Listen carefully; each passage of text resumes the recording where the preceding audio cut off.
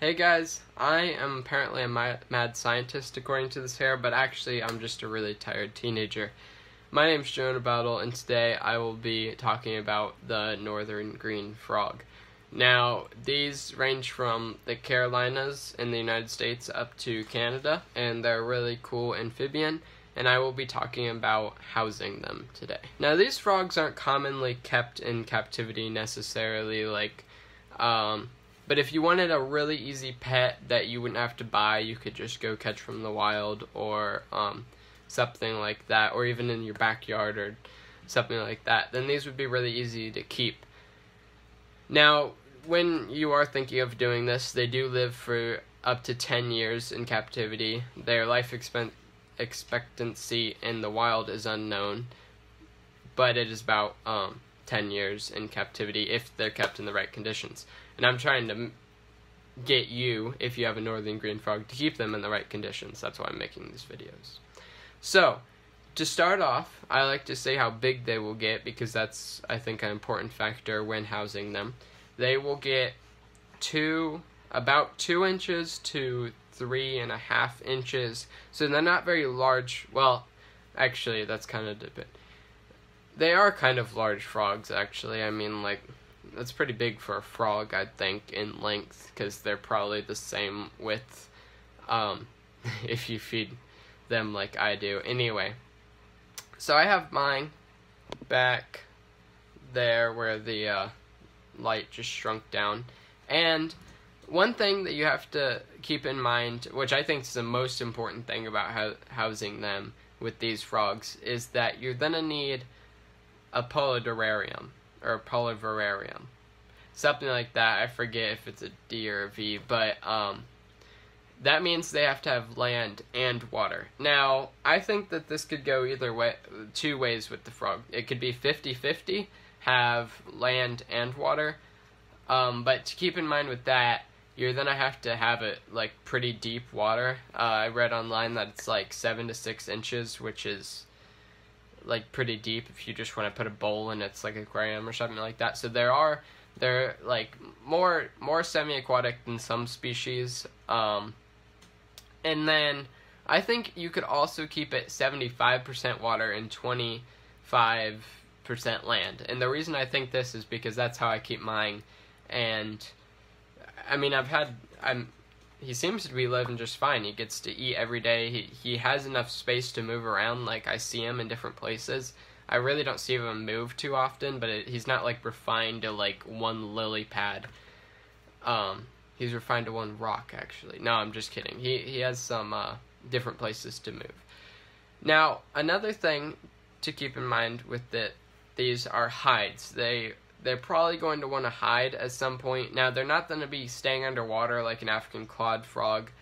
Um, so, I don't really worry about anything in the water. Mine really doesn't seem to swim all that much, um, which is kind of weird.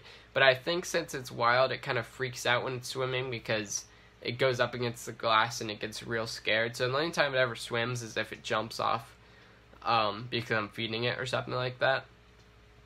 So I don't really worry about any of the fish or anything like that. One thing you are then want to keep in mind is how big the fish are because they will try to eat them. I've seen mine try to eat mine before, but it's very rare and he won't like go after them immediately if you're keeping them well fed.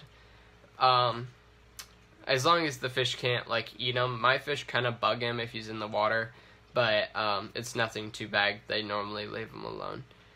So I'm gonna show you um, how I keep him now. This is much more close up.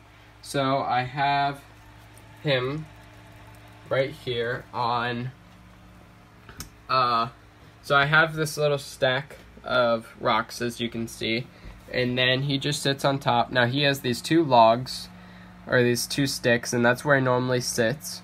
And then I normally drop his food right down here kind of. And then he also which you might not think he's he's looking at me. It's it's pretty rare to see him move, but like if I, I'm making a lot of motion, he's like, "Ooh, there's food." There's also some area to move back behind him. Sadly, my camera's focusing on this part, not the uh, what's behind beyond it. But he'll sit back there in the little foliage with all the pothos plants, and it's real cool. he's looking up like there's gonna be food. It's pretty funny. Um, so he has all that foliage to hide in, and that's what he normally will um, do, and that's what I consider his hide. Um, but I guess if you're going to be keeping them on much more of a polyderarium where, um, your polyvarium, I think it's polyvarium, um, you might want to have like a normal frog that, I mean, a normal hide that you'd have like for a diff, like any normal reptile. So obviously, mine's about, I guess, I guess I'd say it's about two inches, maybe one and a half. So it's not an adult and I'd definitely say like 75% would be twice this amount probably in this 20 gallon tall, um, which I, I'll probably give it that sometime um, in the future. But I have it in with a bluegill and a minnow, and they'll kind of pick pick at him if he gets in the water. But again, it's not too bad. So I'd say this is pretty ideal for his living. Basically, he really likes to eat. As you can see, if I go like, yeah, he's like, oh, there's food. Um, this is what he seems to do well in and like.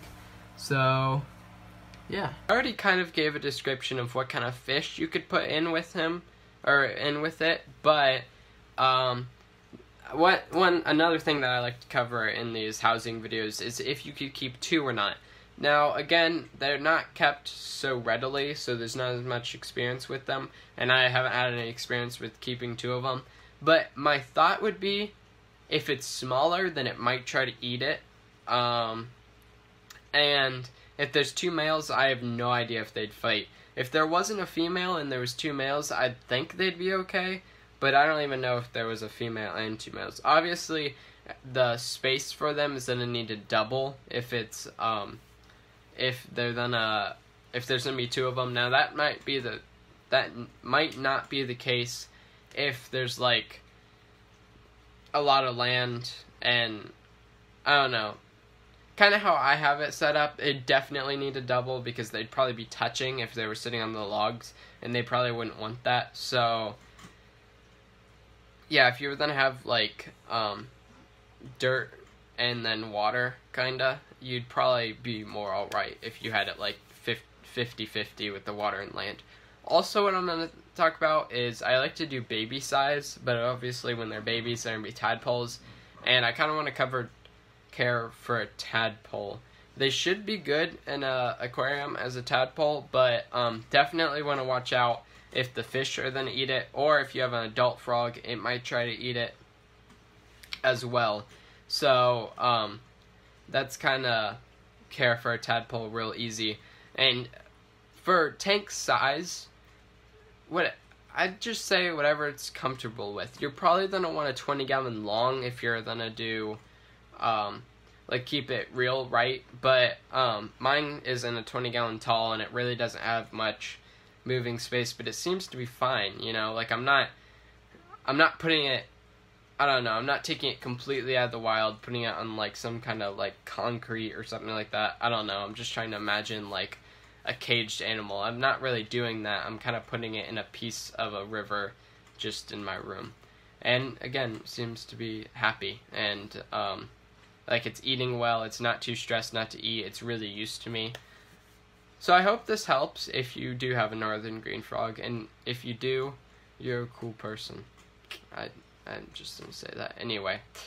I hope you enjoyed this video. If it helped, like it down below. If you have any comments or concerns, then put it in the comments below. And if you want more content, like next week, I will be doing a video on lighting for these guys, which will be way shorter than this one.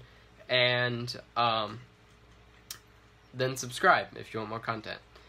Hope you have a good day. See you this weekend. Yeah. Oh, that wants food. It's nice and healthy